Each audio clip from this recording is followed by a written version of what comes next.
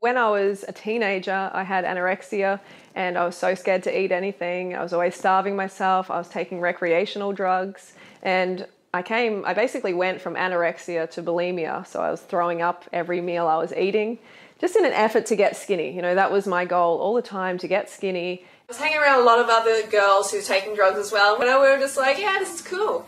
Pop some ecstasy, snort some speed or some coke no worries, you know, it's going to get us skinny. Who cares if it's dissolving your organs? It didn't matter at the time. I wanted to be like this and I was getting like that. At first, I was starving myself and starving myself, but then I really binge out like crazy. I mean, like 6,000 calories in a day, 6, 7,000 calories of junk food in a day for a couple of days.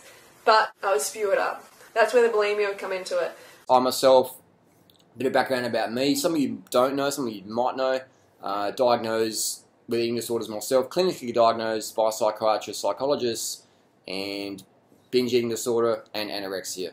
At one point, my body mass index was in the anorexic range, classified me as anorexic, and my eating so much fruit is classified, even still today, a binge eating disorder. So technically, clinically today, I still have an eating disorder. I still have a binge eating disorder because if I sit down and eat 10 mangoes, which is about a thousand calories, that's technically binge eating. Anorexia is a mental health disorder. All right, so someone has anorexia, they see themselves as overweight. And then they start eating enough calories, they start gaining weight, and they're like, oh my god, oh my god. So they'll write to us or on the internet, oh, doing Australia, they're wrong, I'm, I'm gaining heaps of weight but they're anorexic. They need to heal themselves. They have a mental health issue. They're not always, they're not always anorexic though. They might be bulimic and yeah, eating a, disorders. And so, you know, coming from being anorexic myself, when I started like smashing in the fruit meals, I was really conscious about having a Buddha belly. I was like, oh my god, you know, it's fat. Look, I'm fat suddenly after a meal. But it was just all up here. And I've just got to say for the record, I do not have one now. I know a lot of people are like, oh my god, you know, high carb, raw vegan, fruitarian, fruit eater, that is an eating disorder. No, it's not. Okay, an eating disorder is when you've got disordered eating, where you feel like binging out all the time. I'm here about to eat one banana after my run this morning, and I'm going to hit some more bananas later, so we'll see how many I can have, maybe 40, 50 today. Okay, here we have the full blender. Now you're gonna see me eat this whole thing, 20 bananas. Hey folks, so now I've got my 20 banana smoothie here and I'm just gonna pour some in here and make it easier. So let's get into it. I'm just gonna watch a YouTube video while I do this, so there's not gonna be any sound.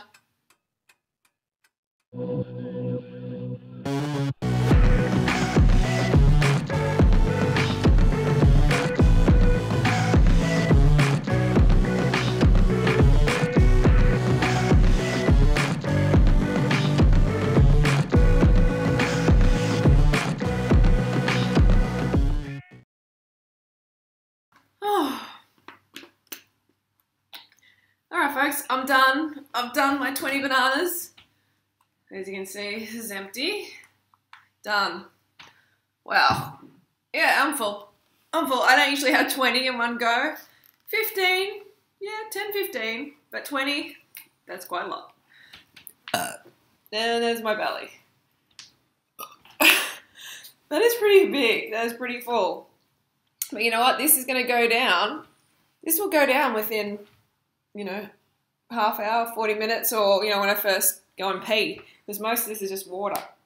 Honestly, okay, I can poop three pounds. And that's definitely one of my secrets to having a flat belly as well. Getting up on that potty and squatting. Try it. So, with a fruity, a fluffy fruity floater, they are sometimes, you know, up to two kilos. Okay, so here we go. We're doing our 10 banana smoothie. Let's pour it in. So I put a little bit more liquid in this one. And now Chiefy, I'm to stretch. Mm.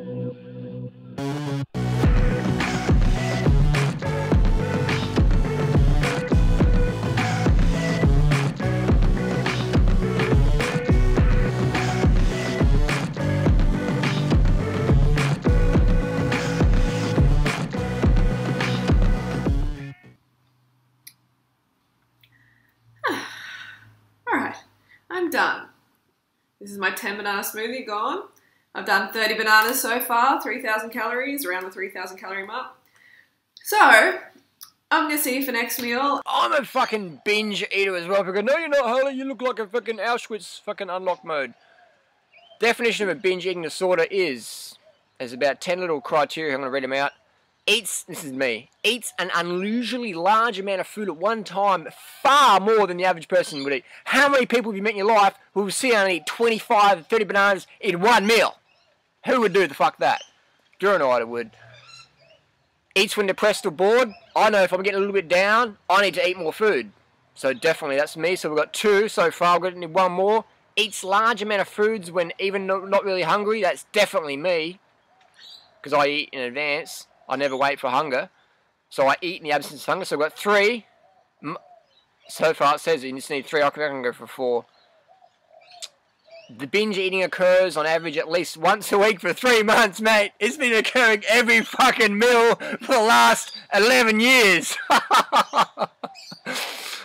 so, yeah, Durianrider, 100% binge eater. Binge eater, 100%, 1000%, a trillion percent Durianrider Freelee, binge eating buddies. We do often We'll go out and have a big binge fest, or we'll stay at home and have a big binge fest. We'll cheer each other on see, you know, make sure, come on, you can do the last bit, keep pushing through, have a break, come back to it. So with all this binging came spewing. Mm-hmm. Because I started to feel really guilty because it was just like, what am I doing to my body? And I'm getting fatter. I want to get rid of this extra weight. And the only thing I knew to do was to vomit. I was vomiting a lot and I couldn't control my appetite any longer. For so long I had controlled it. I'd been like, yeah, I can do this. So I'd absolutely spew everything up. Most of my meals I was vomiting, and I really did a lot of damage to my body. Really, I lost a tooth. I got a couple of fillings. You know, because the vomit was coming up and dissolving my teeth, basically. I just felt trapped in this cycle of undereating, binging, purging. Whoa! Oh my god, it's a big chunk. Oh my god. All right, folks, I am up to dinner and I've got 20 bananas. So here and here. I can finish 50 bananas in one day. Actually 51 if you include the first banana I ate. So time to eat.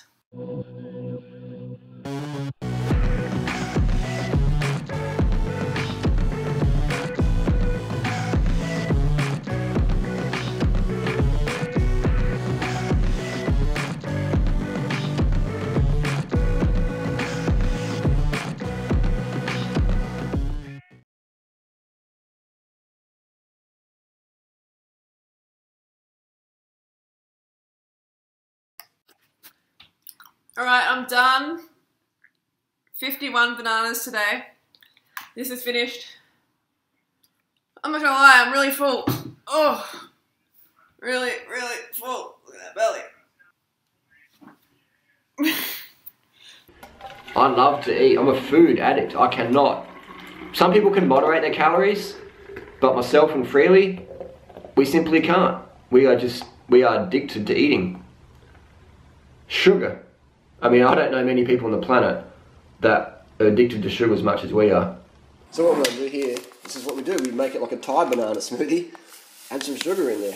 Add the sugars that should be in there, but they're not because the fruit was picked too early. And that's the secret to... Put some coconut sugar in it, Just whack that in, that's like half a cup. So we're about 350 grams of carbs. In the box cereal, five, uh, yeah, 350 grams for the box of cereal. So that means I want to try and have a 600 gram of sugar this one. So I'm going to put about 300 grams of sugar on here. I don't use a teaspoon, I don't use a tablespoon. I pour the sugar on. So I'm going to measure out roughly about 150 grams of sugar there. That's it, it's close enough. So that's the sugar there on the cereal. And that, my friends, is how I can have a, a good stocked up glycogen tank for tomorrow. So you see that. Most people come to vegan lifestyle had some sort of eating disorder so I don't have to eat as much because I've got an eating disorder and I, I mask that behind veganism and raw foodism and, and yoga and stuff, but really it's just an underlying eating disorder because I don't know how to eat properly. So these are medjool, medjool dates. So I did the math This is about $720 US. Uh, I made an incorrect estimate yesterday. It's about $720 US for these. How long will it last us? That's a good question. Only about three days, I reckon. Maybe three weeks. I'm going to eat a box a day. That's my goal, a box a day. I'm probably going to have about 60, 60 dates a day. Well, someone said, you guys promote eating disorder, eating so much food. Come on, man. Look how fucking lean we are. Look how much we eat. We should eat less. You want us to eat less? Just fucking really stand up and show the body. We gotta eat less. there won't be anything left of us. We gotta eat less. Come on. What are you fucking saying? And the raw food world out there. Most people, 99% of people do a raw food diet raging eating disorder, raging eating disorder. And then I fell off the wagon because I started to undereat because I didn't see the weight loss results that I wanted to see soon enough. So I started to undereat. You know, we've seen so many people starving themselves for weight loss or undereating for their body's needs. It's not a long term solution, folks. It is not a long term solution. So I started to undereat. I went back to high fat vegan food and I felt terrible. I would visit every establishment every like okay in one night i visited three establishments. I went from place to place to place and i loaded up at every single place. I smashed it in as much as i could until i was crying until i was just in the corner freaking like rocking, crying, holding my stomach, going, What have I done to myself? Like, I can't live like this anymore. On the verge of suicide. Okay, Contempl- contemplating suicide is what I did a number of times, which I've talked about in another video. So that's the point where I was getting to. I was. That's it. And so the only thing that I knew to do was to vomit. So that's what I did. I just vomited all up, and I did this for a month I mean, there is truth in it. A lot of fruitarians do have teeth problems. And you know what that is?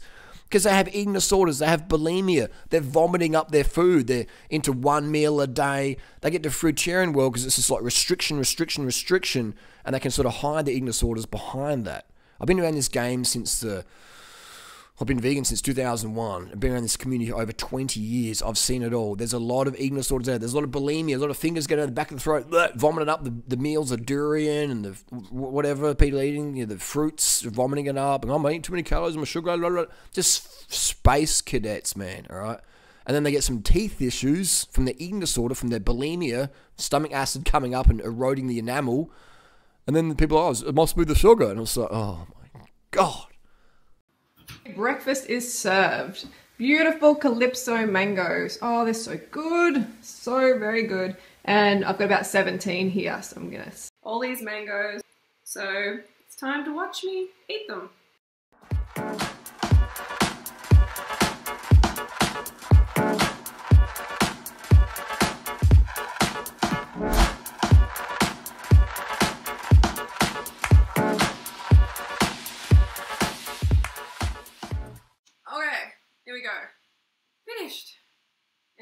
Big belly.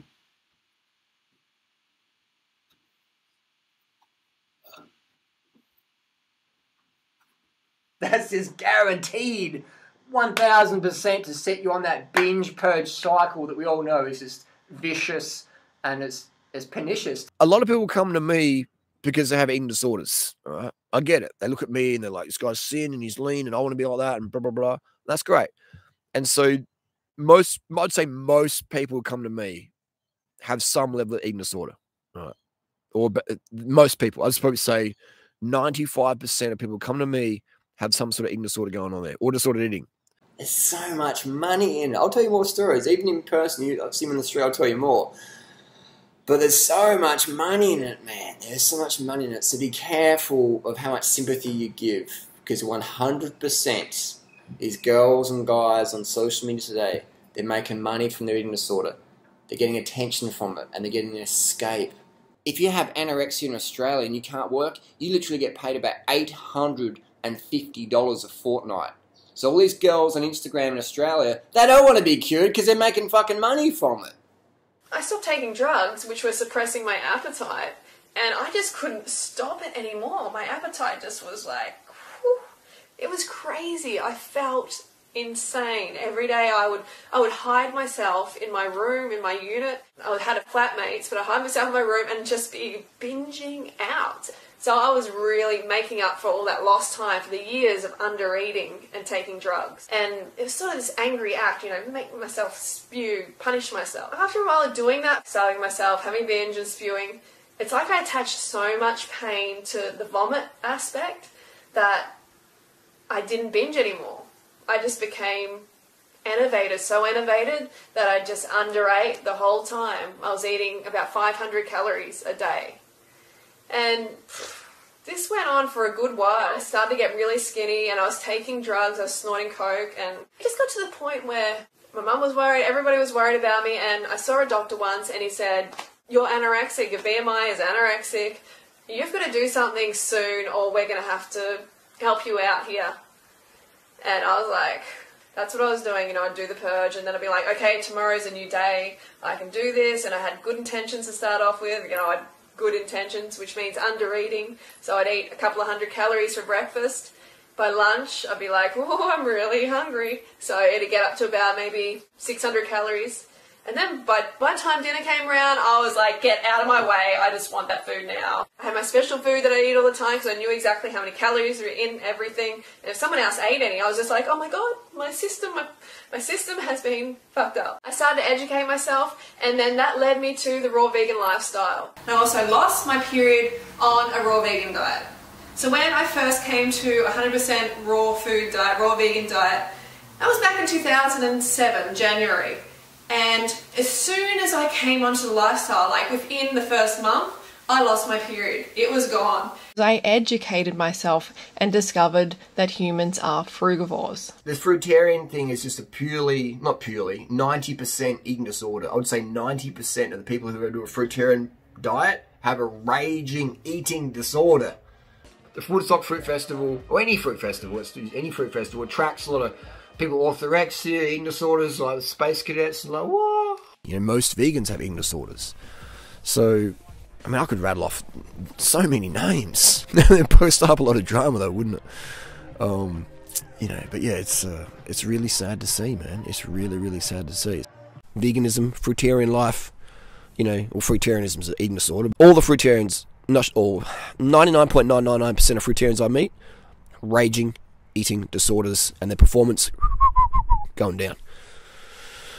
It's uh, it's very sad to see. But they've got such an orthorexia, they persist through the decline of fitness to chase their orthorexic goal.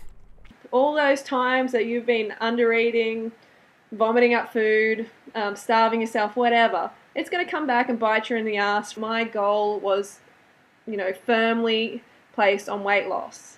That was the reason, that was the main reason I came to the lifestyle. I wanted to lose weight. And I know that's probably the main reason you came to the lifestyle if you're female. That's probably the main reason. Getting there. My record is a 20 pound watermelon in one meal. That took me a couple of hours. So you finished the melon, eh? Yep. There's my melon, melon belly. Suck it in. Suck no, it in now. No, I don't suck it in. Look, just do it. This do is it. this is nearly finished. Suck it in. Suck it into the key. You go. It disappears. Good posture. You know, I have so many people contacting me saying, Freelee, how do you get such a flat belly? And another important thing is posture. Notice how like my shoulders are a bit rounded, chest is a bit sunken, belly's distended. Yeah, because I'm not sucking it in. I'm not practicing good posture. So this is good posture. Chest Whoa. up, shoulders back, belly button drawn into the spine. See how flat my stomach is now? I like on a flat belly. Yeah, but you must have starved all day for this. No, this is the end of the day, actually. And so you got a fair bit of food in there? Yeah. Some few, probably a gallon a of fruit and water. Honestly, I I suffered from so many digestive issues before coming to this lifestyle. That was one of the main reasons that I actually came to uh, a fruit-based lifestyle is to get a flat belly. Flat belly. Flat belly. Flat belly flat belly. I'm 41 this year and I have the flat belly. It's reality that some people, once they have an eating disorder, it stays with them for life.